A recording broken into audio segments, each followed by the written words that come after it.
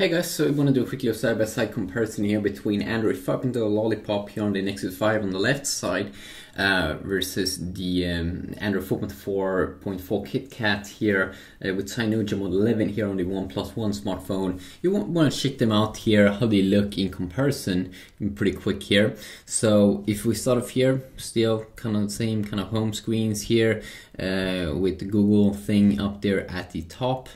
Uh, if we move down here, you can see a big thing here. You have to use like two fingers here to to bring this one down pretty quick. If you use one finger, I find it pretty weird in one way.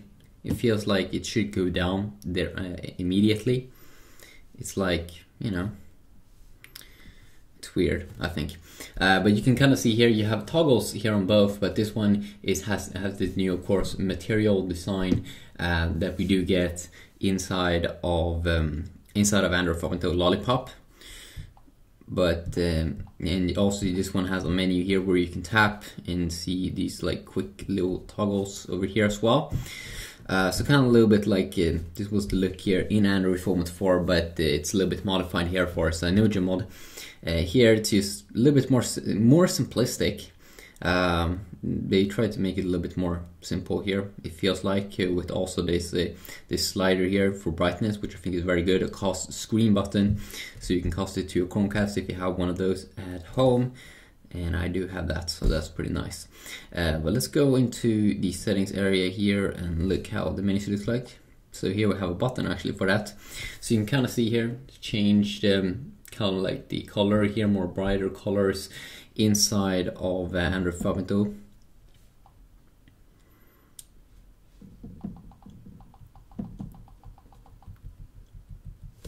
You can kind of see here also how this looks a little bit different. The screen here.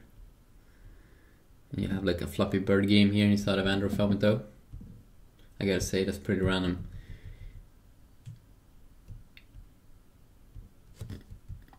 Here you don't get a game, but you can get, you know, you can touch them. Why is this Flappy Bird game so hard? Oh my god. Um, but if we go out here, how do we go out?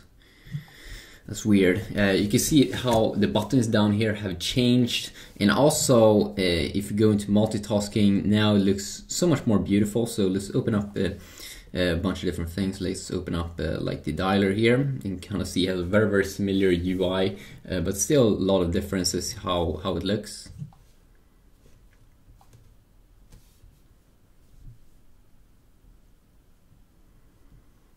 You can see that it has like more animations overall.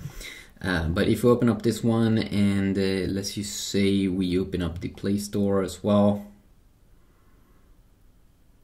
It's pretty fast load time here or load up pretty quick here on one uh, or on Android 4.0 which I definitely do enjoy.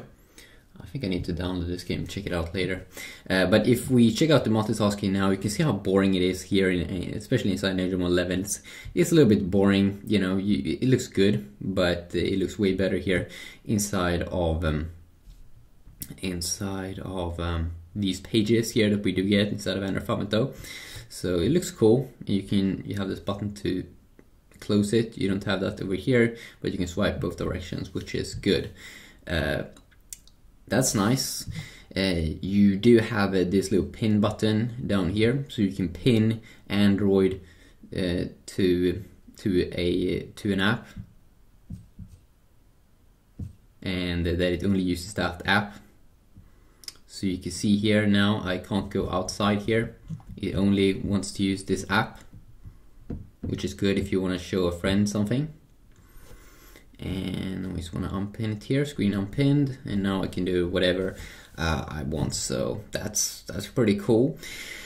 And if you check out the app drawer here you can kind of see how it have changed color here. It has like a white background inside of um, inside of Android 5.0 Lollipop.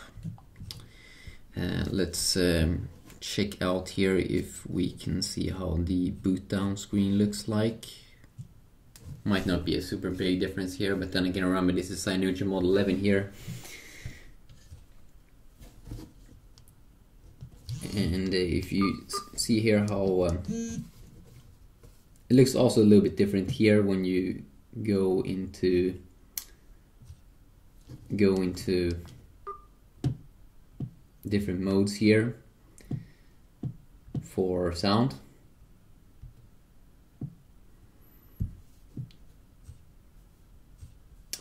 Some other apps here also that have, um, let's see, why doesn't it get remote? You can also hold in like this and uh, you can see the difference here for different pages. You can still see it has a lot of the a lot of similar UI elements still, but uh, looks a little bit different here, especially in the widget settings. And if you go into wallpapers, can also see they have pretty pretty similar UI experiences. And uh, quick little button here to settings. See did we get that in here?